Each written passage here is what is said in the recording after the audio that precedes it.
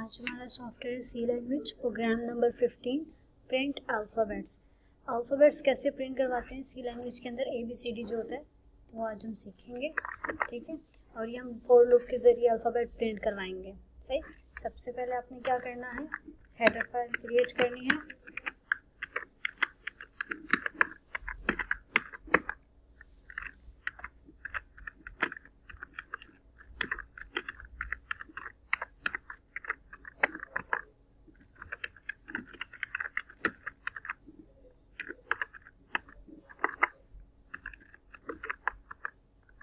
फिर हम प्रोग्राम की बॉडी ओपन एंड क्लोज करेंगे कर्ली ब्रैकेट्स के थ्रू अब देखें अल्फ़ाबेट्स क्या कहलाते हैं? हमारे करेक्टर कहलाते हैं, यानी कि A B C D character कहलाते हैं। तो यहाँ पे हम इंटीजर के बजाय करेक्टर की कमांड यूज़ करेंगे, ठीक है? करेक्टर की कमांड हमने यूज़ की। उसके बाद हम क्या करेंगे? कोई भी वेरिएबल का नाम देते जैसे मैंने सी एच दे दिया, ठीक है? आप कोई भी वेरिएबल का नाम दे सकते हैं। उसके बाद आपने क्या लिखा C L R S C R यानी कि क्लियर स्क्रीन आउटपुट स्क्रीन पर अगर कोई भी पहले प्रोग्राम का रिज़ल्ट शो है, या वहाँ पर मौजूद है तो वो क्या हो जाए? क्लियर हो जाए और जो हम अब प्रोग्राम टाइप करें इसका रिज़ल्ट हमारे, हमें इजीली शो हो सके, इसलिए हम ये वाली कमांड देते हैं, ठीक है? उसके बाद अब देखें करेक्टर प्रिंट करवाने कहाँ से कहाँ तक होते हैं?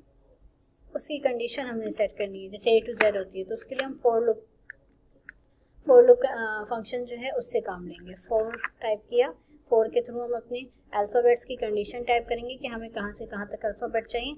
हम पहले अपने वेरिएबल लिखेंगे कि वेरिएबल किसकी इक्वल है।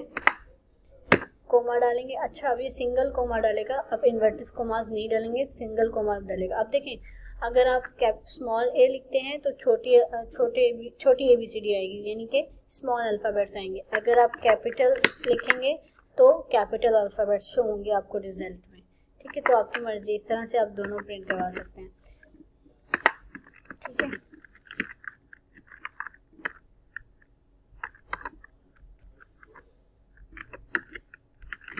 हमने ए टू जेड की कंडीशन सेट कर दी, उसके बाद हम इसे इंक्रीमेंट दे देंगे। उसके बाद हम क्या करेंगे? दोबारा अपनी क्योंकि मैंने आपको बताया था फोर लुक में कंडीशन सेट करने के बाद प्रिंट फ़ंक्शन के लिए दोबारा बॉडी स्ट्रक्चर ओपन करने की ज़रूरत होती है, ठीक है? तो हम दोबारा कर्ली ब्रैकेट्स के थ्रू अपनी बॉडी ओपन एंड क्लोज कर देंगे। यहाँ पे अब हम प्रिंट फ़ंक्शन की कमांड देंगे, ठीक है? प्रिंट एफ़ ब्रैकेट ओपन करेंगे इन्वर्टिस को मार देंगे स्लैश एन अगर आप अल्फ़ाबेट के साथ कोई टेक्स्ट लिखना चाहते हैं तो आप वो टेक्स्ट भी लिख सकते हैं, जैसे मैं लिख रही हूँ द अल्फ़ाबेट इज़ ठीक है? अब हम क्या करेंगे? परसेंटेज सी लगा देंगे। परसेंटेज सी किसको डिस्प्ले करता है? करेक्टर को डिस्प्ले करता है, ठीक है?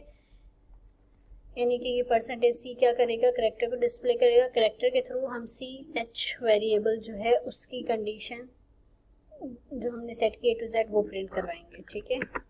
उसके बाद हम अपने वेरिएबल यानी परसेंटेज सी जो करेक्टर है, उसको थ्रू हम सी एच यानी कि जो हमारा वेरिएबल है उसको प्रिंट करवा रहे हैं, वो शो करेंगे।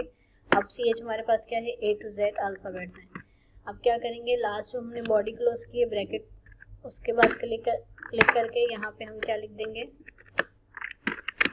गेट सी एच ठीक है ब्रैकेट ओपन एंड क्लोज कर देंगे और समी कॉलम डाल देंगे। ठीक है, इस तरह से मैं आपको दोबारा बता देती हूँ कि हमने क्या किया। सबसे पहले अल्फ़ाबेट्स प्रिंट करने हैं हमें फॉर लुक की कंडीशन के थ्रू तो हम क्या करेंगे? सबसे पहले हेडर फ़ाइल बना देंगे, उसके बाद हम क्या करेंगे? यहाँ पे अपना वाइडमैन के थ्रू एम यानी ब्लैंक फ़ाइल उठा लेंगे। उसके बाद हम करेक्टर की कमांड रखेंगे, कोई भी वेरिएबल का नाम दे दिया क्लियर स्क्रीन की कमांड दी, अपनी स्क्रीन को क्लियर किया आउटपुट स्क्रीन को, उसके बाद हम कंडीशन सेट करेंगे फोर के ज़रिए। हमने अपने वेरिएबल को कंडीशन सेट कर दी कि सी एच कहाँ से स्टार्ट हो रहा है, हमें स्मॉल अल्फ़ाबेट चाहिए तो इसलिए मैंने स्मॉल ए लिखा है, ठीक है? और कहाँ तक हमें एंड करना है कंडीशन काउंटर स्टार्ट हमने ए से किया है और कंडीशन हमने जेड तक सेट की है। ए टू जेड यानी स्मॉल अल्फ़ाबेट्स में मैंने इसलिए लिखा है क्योंकि मुझे स्मॉल अल्फ़ाबेट शो करना है। उसके बाद हमने इंक्रीमेंट देके इसे स्टॉप कर दिया फिर प्रिंट फ़ंक्शन की कमांड थी जिसमें हमने द अल्फ़ाबेट इस मैसेज लिख के आगे प्रिंट सी के थ्रू अपने करेक्टर को डिस्प्ले करवाया और साथ में वेरिएबल प्रिंट करवाया। उसके बाद हमने गेट सी एच की कमांड दे दी। अब सबसे पहले हम क्या करेंगे? एफ़ टू से अपने प्रोग्राम को सेव करेंगे। अब रिज़ल्ट देखने के लिए कंट्रोल एफ़ नाइन प्रेस करेंगे। तो इस तरह से हमारे पास ये ए टू जेड अल्फ़ाबेट आ जाएँगे। आपको नज़र आ रहे हैं अब देखें, इसमें हमारा ए मिसिंग है, क्योंकि ये स्क्रीन फुल नहीं हो सकती, इससे बड़ी ज़्यादा स्क्रीन नहीं है, इससे ज़्यादा बड़ी स्क्रीन नहीं होती, इसलिए हमारा जेड भी छुप रहा है और हमारा ए भी छुप चुका है। जितने अल्फ़ाबेट सामने आ सकते थे, बस वो शो हो रहे हैं।